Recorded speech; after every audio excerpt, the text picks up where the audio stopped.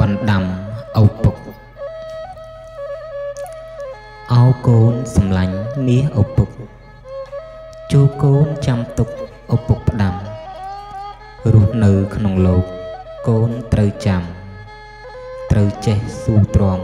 រាល់ការងារអោកូនសំឡាញ់មាសឪពុក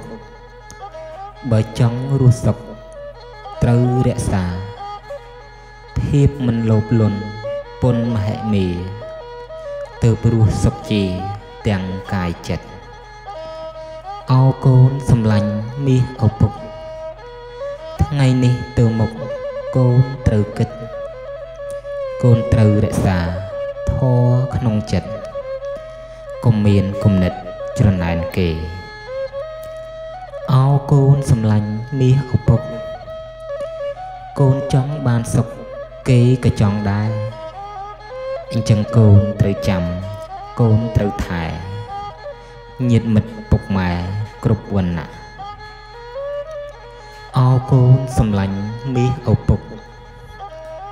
ដំណរទៅមុខចូលចាំជាក់ញាតជីរបងផងពំនាក់ពឹងពាក់យប់ថ្ងៃក្តៅរងាអោកូនសំឡាញ់ មាសឪពុក ពេលកូនបានសុខរស់ធូធា ត្រូវចេះធ្វើទៀនដោយសទ្ធា ជ្រះថ្លាក្នុងចិត្តទៅប្រពៃអោកូនសំឡាញ់មាសឪពុក ចូលចងចាំទុកខំរាល់ថ្ងៃរៀនសូត្រឲ្យចេះទៅមានន័យ រស់ក្នុងលោកីដោយកិត្តិយសពីឪពុករបស់កូន